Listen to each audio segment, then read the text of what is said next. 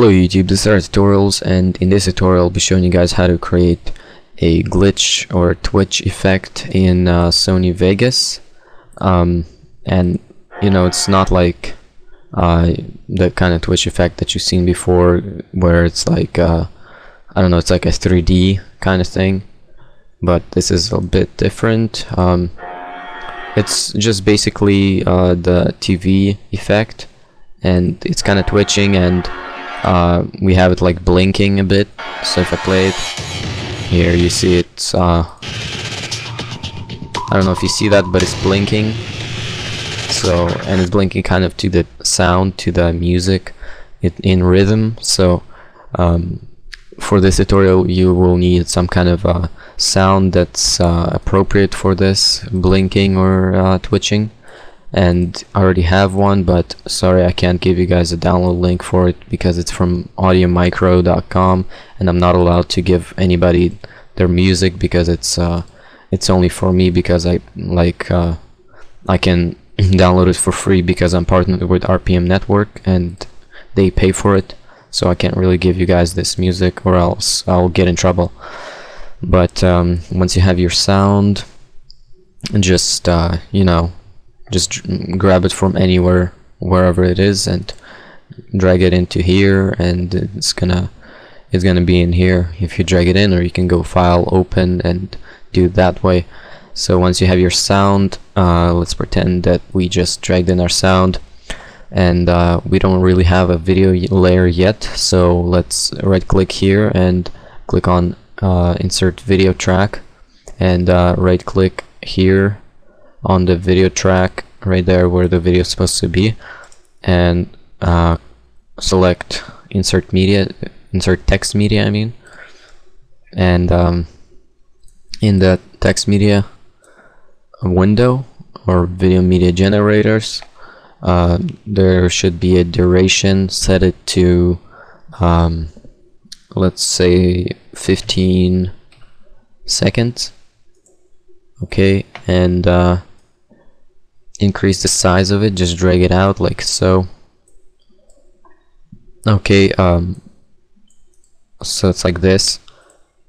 And let's just play until it starts to like um, you know this kind of uh, music starts to play that we can sync it in with blinking. So so right here it's the first um, sound. It's the first like uh, loud hit and that's where we can cut off the uh, the video. Like so select the video hit S on the keyboard and delete the other part of the video or the text I mean. Okay so now let's go to um, video effects and select TV simulator and then drag the reset to none uh, sample onto the sample text okay. So we've we're gonna have this window here. And um, if you're on Sony Vegas Pro 11 then you're gonna have this button which says animate at the bottom here. If you're on Sony uh, the lower versions of Sony Vegas then you're probably gonna have a timeline right here. But click on the animate if you have that button here. Okay and you're gonna get a timeline. And you can just go back to zero seconds uh, where the text video starts and um, actually go to uh, like I don't know like one second or something half a second forward in that timeline right here. And uh, let's see um, increase increase the aperture grille the interlacing a little bit and aperture grille to about uh, 3000 or 0.3 I mean and interlacing to about um, 1.1 and um, align sync to 0 and scan phasing to 1 all the way up and photo photo phosphorescence I don't know what it says but it's this long one for phosphorescence all the way up. And uh, a little bit of static. Just increase the static just a little bit. And uh, drag this first keyframe which is right here. Drag it out and drag the second one which has all these new settings that you uh, just put in here. Drag it all the way to the beginning.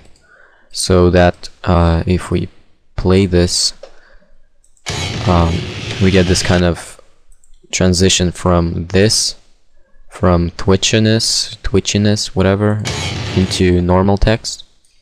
Okay and so for the next part um, this kind of um, uh, sound starts where it starts to like abrupt like da da da da you know what I mean? And every time it abrupts like that then it uh, we can put a blink to it every time it does that sound. So if we go forward to and mark where it starts making that sound um, just before that put a keyframe just before it starts doing that put a keyframe. And um, so click the plus to add a keyframe and uh, go forward like uh, I don't know like a few frames just a few frames and add another keyframe and decrease the line sync to zero and um, the aperture grille to about 3 and interlacing to um, 1 and uh, scan phasing to 1 all the way up. Or I mean interlacing to 0.1 and aperture grille to 0.1 also. And the photo pho phosphorescence to all the way up and um, the static just a little bit up. Okay and um, now if we play this it starts to twitch and then uh, we want it to end twitching at at where we have this new um, where we have this new sound. So um, yeah now to edit that go back to event effects which is the green little button here on the edge the lower one. Okay and uh, it should already be in the timeline should already be um, like set to where uh, where you want it to end because if you put it in this timeline it should be synced with this timeline if you know what I mean. And this tutorial is for more advanced users of Cinema 4D or not Cinema 4D sorry uh, Sony Vegas so yeah you should know what I'm talking about if you've been if you know have a little bit of experience in Sony Vegas but if you don't it's kind of hard to explain some things in Sony Vegas. But yeah just put it to where where this new sound comes in and where you want to decrease the amount of um, like twitchiness in the video. Okay so um, yeah so now uh, decrease the or I mean increase the line sync and uh, everything else, the aperture grille and everything, uh, decrease that. So it goes from this to this. Okay, and now for this area right here, if I can select it, uh, for this area right here, we also need to add the blink, uh, you know, how it's blinking. Um, and to do that, uh, go to the generate media button right here the green one at the top.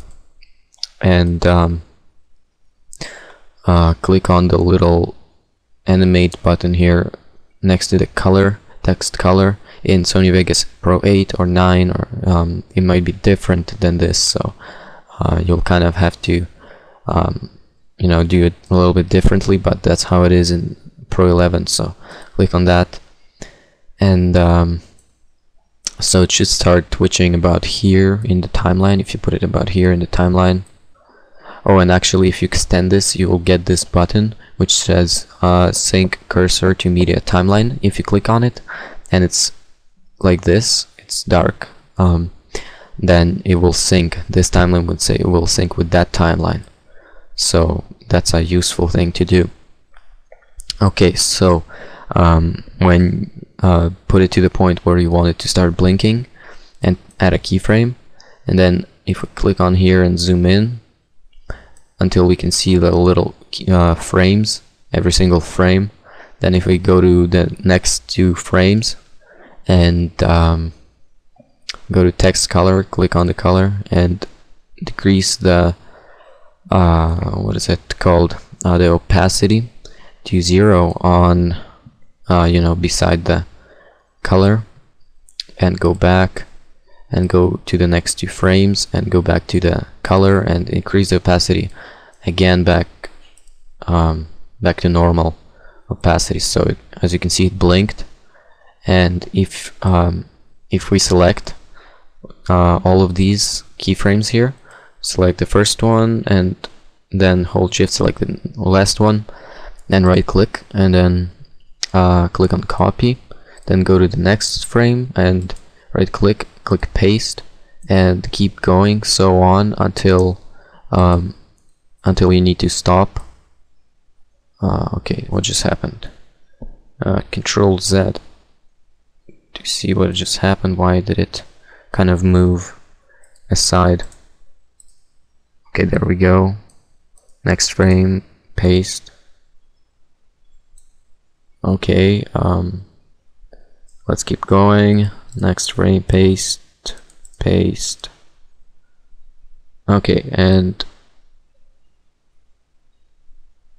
yeah and I think that's good enough. Uh, that's enough of uh, blinking here.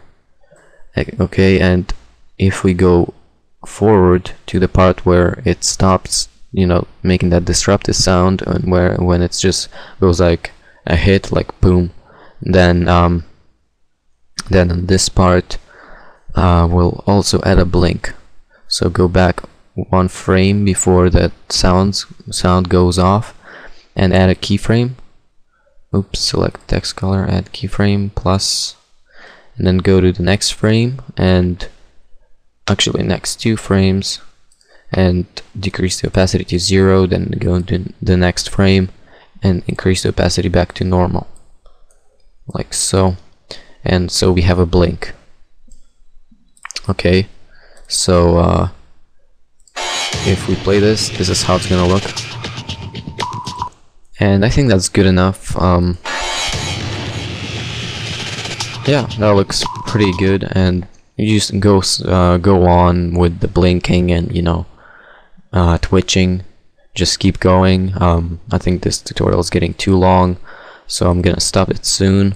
Uh, if you want to make a transition from one text to another then you create another text and you know you um, you add twitch to the end of the where where it almost ends and you add some blinking to where it almost ends and so it goes like you know from twitchy from normal to twitchy and then to twitchy and then to normal. So makes that transition. So yeah I just don't have enough time now to go into the details of that. So thank you guys for watching. I hope this wasn't too long for you guys. Um, but yeah um, please subscribe please like the video and see you guys later